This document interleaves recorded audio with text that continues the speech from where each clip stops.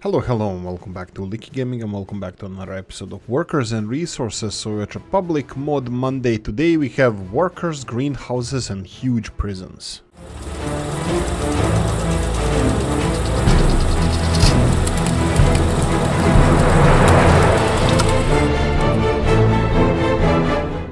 It will be prison singular. Right, so again, disclaimer, there's a lot of beautiful mods, guys, just go and check them out. We have amazing community and you will find something for yourself. Go to the workshops on Steam and uh, under the Workers and Resources Soviet Republic, you will have a lot of mods. I think it's around 40 in last 7 days. This is just 8 of them that I find really the most interesting. Triage Hospital by Novu. An improvised hospital set up inside old aircraft hangar, it can be used to treat large amounts of patients during pandemics and disasters. Long-term care is not guaranteed, includes parking for up to 30 people and features rapid dispatch, added helicopter connectivity. Right, so we have the emergency hospital in, in, in the last couple of years. We saw a lot of these spring up and mushroom like mushrooms after the rain all over the world because of the situation where we find ourselves in. But let's just check it out first. So this is aircraft hangar. Of course, it has capacity of 100 patients, uh, as we're gonna demonstrate in a second. And it's not that cheap. I expected it to be a little bit cheaper. It does require a lot of materials. It's almost twice the price of the normal hospital. It's quite um, quite pricey. I thought it's gonna be a little bit more affordable. So we can find it here in the mod section. Uh, 15, 59,000 rubles, 5890, and it has capacity 20 workers, 30 doctors, and 100 patients. And of course, it has 30 vehicle capacity. You don't get the vehicles. I bought them ourselves, uh, so we can demonstrate how it looks when it's fully populated. So anyway, Mr. Novu and Triage Hospital. Comrade Joe and Minimalist Panel Lowrises, a little side project I did to distract myself from current big one. Uh, the mod contains three small residential buildings made of rough concrete panels after randomly uh, seeing a similar construction in outskirts of Novosibirsk, surprisingly dating back to just 2001 uh, they are an average quality of 72% and should be not too expensive the single unit house 12 adults and 2 stories 36 and 3 story 54 right so we have single unit houses. We're gonna show you all the uh, all the details here. Uh, we're gonna go for all three. So we have the small one as you can see here. We have a medium sized one with 54 and the, well actually this is two story high. This is three story high. So this is a single unit with 12 people capacity. Uh, this is the big size, it's three floor high, and we have two floor high. So this would be 54, and this one is uh, the smallest one is 36 people. Right. So how does it compare to the vanilla buildings? Are they actually all in the same pile? I don't think they fit in the same um, in the same uh, section because some of them are over 50 people. So uh, we're gonna go all the way in the mod section, so you can see that they cost 3,000 for the smallest one, 10,000 for the biggest one, 9,000 for medium-sized buildings. So if we compare this to something, let's go with this small one, uh, 3,500 compared to small building here. Uh, it's a little bit more affordable, but it has way way lower uh, life quality quality of apartments. So it's not that um, that expensive. It's actually quite realistic. Uh, as you can see here, similar buildings, vanilla ones. We need vanilla ones. Uh, let's see if we have 50, 51. Here we go. 10,000. So again, this is similar in price. And do we have something with uh, 30? Here we go. 4000 so yeah these these are not cheap cheap and they're not cheated definitely. But if you want to find out about more more about this check out the link in the description of the video. Big prison by benko 54 big prison this prison is a big one. It has two complexes and a big wall. It accommodates 550, 355 prisoners and needs 92 employees. There are four vehicle stations which uh, are located in, in the courtyard and can only be accessed via barrier texture models by Benko 54. Uh, playground basketball by Robs074. Right, wow, I didn't even notice this. So we have a basketball courts over here for the inmates. We have two big wings and we have a huge thick wall uh, all around the prison complex. Oh, this looks really cool. Okay, okay, I like it. This is solitary confinement or something. No, this could be I don't know, it's outside cells, maybe exercise area. I'm not really sure what these are, but I saw this in other models as well. So we have those, and then we have probably canteens and stuff. And then this is the central building, probably where all the Right, I have no idea. Anyway, it looks really, really cool. It has capacity uh, 92 uh, wardens, and it says here that it's 276 uh, prisoners even though in description says that is 355 mm, interesting. Maybe maybe it's some kind of discrepancy but it's a huge huge capacity. Anyway with the crime and justice uh, part of the game being released it's actually quite interesting to see these.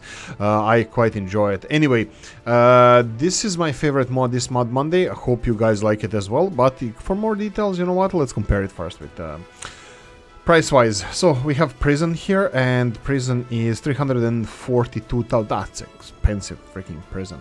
Okay, uh, compared to Vanilla one, if we go to Prison system, we have 123 times more expensive, and it has only 50% more capacity. Wow, okay, this is quite, quite pricey, so no, not cheaty at all, so heads up, this is gonna set you back a bit, but definitely worth it. Link in description of the video. Polish bus stops, bus stations by Robs 074. Polish bus stations including two platform for 400 passengers, three platform for 600 and four platform for 800 passengers. Both buses and trolleybuses can use them. For stops with trolleybus wires, subscribe to the building skin models uh, listed uh, as a dependency and you have a description in Polish as well. Right, so yes, I installed both of those, so you can see here that when you change the skins, they get the wires, the wires of overhead. The, basically, I think they're both, they're all trolleybus stations and they act as trolleybus stations, but uh, Robs remove the wires from the from above. I believe they can be used uh, either way, with uh, doesn't matter which skin you use, but you can always change the skin in order to have the trolleybus wires. It's really, really genius idea. I really like it. Uh, right, this is something definitely I was looking for, and I'm gonna be using in my Let's Plays, but let's compare how does it compare to vanilla ones. So if we go to our mod section, we're gonna have in the last sec we have three different stations. One of them is 4,400 rubles uh, 8,000 rubles and 13,000 rubles respectively. And the uh, vanilla one bus stops are 500, definitely, definitely more expensive than vanilla stations. Uh, here we go. This is comparison, comparison. How does it look? Uh, compared uh, these stations we have bus platforms here as well which are again again these are much more expensive the the Robses ones are much more expensive definitely realistic not cheaty mode at all so check out the link in the description of the video Right, here's an interesting one. Digging Crew by Monotone. This mod adds fully animated manual digging crew for uh, excavation, bulldozing and groundworks. Now you can quarry gravel, build roads and lay foundations using pure muscle and sweat. Uh, these workers are 10 times cheaper than the, uh, than the next excavator and they are available from 1850. They must be transported to the site by open hull vehicle features aims more varied models to texture replace the clone yada yada yada. Right so you have all of this uh, all of these details and more in description of the video. This is the one that has to be carried. So they have to be carried on the back of a truck uh, which is quite quite realistic. But the only thing i'm going to show you now is them in action. When they're parked like this they are all sitting on the benches and waiting for their for for work. But how do they work when they are active so here we go. I just built a small uh, quarry here. You can see that they have uh, they are actively working on the quarry. We can remove the uh, quarry stone so you can see them animated all the time. Really, really cool mod. Uh, definitely something I like and I'm probably gonna be using myself as well. So check it out in the link in the description of in the video mo by Monotone. Right, uh, one last thing we forgot to mention. Their price is 500 uh, rubles and uh, you can buy them since it says here 1900s and the description says 1850s but it doesn't really matter. You probably have them uh, whenever you want. They don't use fuel I believe. Uh, they use electricity. It's similar to these models that are not using the road so they have to be transported. They don't have fuel so you have to transport them to the site or buy them on the site where they're going to be working. Anyway more details in the link description of the video Dirty Dirk and Soviet standard greenhouses. Soviet standard greenhouses in two sizes, single and double. There's a during the glorious Soviet era, many citizens with a big heating and power plant, especially in the north, but also common in the south, use such greenhouses uh, in this configuration. Mainly, the waste heat was used to grow plants on a very efficient scale. Cities in the far north and northeast Russia used uh, such a greenhouses as a main food source until today. This is one of the one-to-one -one scale replica of the greenhouses used in the city of uh, Kurchatov uh, Kurskaya Oblast, which is using district heat from the nuclear power plant. The, uh, the same greenhouse uh, was also used in the other sites like uh, Balakovo, uh, Saratovskaya Oblast and Pripyat, Ukraine, Kiev Oblast. Uh, important notes, the greenhouses will only work if you connect them directly for the heating source. Do not use heat exchangers, just use the heat connections of the building. Otherwise, the heating tank will run out of the hot water and the production will stop until reaching necessary level.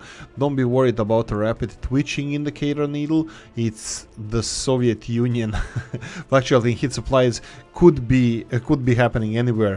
When water supplies will be available in the game, I will update the mod for water need water needs.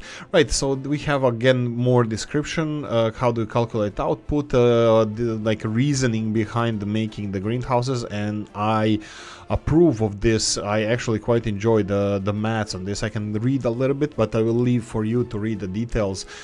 Uh, how to calculate output, I use the reference of big uh, conventional field which have output of 330, 300 tons of crops during one season, so uh, 62 tons per hectare. The greenhouse can be can operate double uh, the seasons, so output will double uh, per hectare because of the high efficiency with ultimate use of sunlight and uh, lightning greenhouses have 80% higher harvest including 20% fertilization. Additional 20% will be produced yada yada yada produced 274 tons per hectare. Calculated overall planting area 2.5 hectares. Anyway there's an extensive details in how this is calculated and the reasoning i stand behind the reasoning i actually quite like it and something that i was really looking forward in this game. So these are two big greenhouses. One of them is just big and one of them is mega big. It's just absolutely ginormous. So they have a road access and they have parking lots in the middle. Uh, capacity is 200 and 120 ton, tons respectively and more or less the what i saw there it's uh, everything is just doubled. So requirement for electricity on the big ones is doubled. They do take a little bit less scale than if you put two of them next to each other, but uh, it, they're, they're, perfectly fine. I didn't test them yet with a, a, heat connector, but as you can see here, heat connections can be connected to these buildings at the end of the um, uh, greenhouses. They're, they take a little bit more space here for comparison comparison with uh, compared to prison and uh, let's compare it to the big fields as well so big field is I would say they are more or less similar size I wouldn't say that they are twice the size. One and a half times the size probably. But anyway they're they're quite big. A smaller one would be the same the size of the field a little bit narrower and, and a little bit longer. But anyway this is something i'm going to be using myself. Of course they require chemicals which are expensive in the game so heads up on that. So if you want to produce something like this uh, or have something like this it's going to cost you in the long run as well how do they cost and can we compare them with i don't know if we can compare them because there's no greenhouses in the game. Uh, we have fields here for five hectares two hectares one and a half hectare and uh, 0.4 hectares over here. And uh, i can just mention the price then. I, I think that would be the the most reasonable thing you have 146,000 for the smaller one and 240,000 for the big one. So like I said they are quite expensive. Be careful when you build them that it's gonna take a while for you to construct them. What are the materials requirement for required for construction? You can see here 300 tons of steel. Wow. 100 tons of bricks uh, 156 tons of asphalt. This is some high-end crap over here. I like it. I like it. I really like this mod. I think I'm going to be using it a lot in my Let's Plays. Anyway, anyway, look, check it out in the link in the description of the video for more details, and let's move on. Mr. Robs 074 and small monuments, 5 small uh, monuments to increase loyalty of your citizens 1.5 to 2% with the radius of 150 to 250 meters depending on the monument collisions uh, disabled for easier placement. Yes, finally. Right, so uh, monuments, uh, if you're following my Let's Plays you're gonna know that we have a lot of problem with loyalty, a lot of it comes with from the developers, they're still implementing loyalty and crime system and this kind of stuff so it's being changed often and you're gonna have to have a lot of a lot of monuments in your game. And I can see here there's a Polish monument. This is a Polish eagle there and we have another one over here.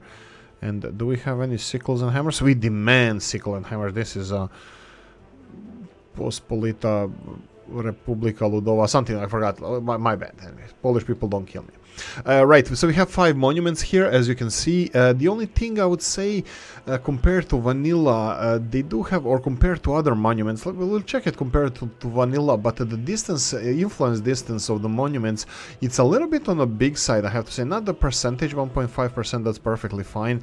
Um, the, the distance, 150 meters, might be a little bit on the large side compared to other monuments. So, for example, if we go for the uh, Hammer, which is so huge, uh, it has the same uh, the same influence uh, radius as the smallest monument here. So I'm not sure if this is how this is uh, calculated and should it be this big or not? Because like a radius I, I, like it. The bigger the better and it's not gonna stop me from using. For example this one is one of the smaller monuments we have in the game and it has distance of only 65 meters but it's bigger than uh, I think almost any monument here more or less than any monument. It's its volume volume wise is also bigger.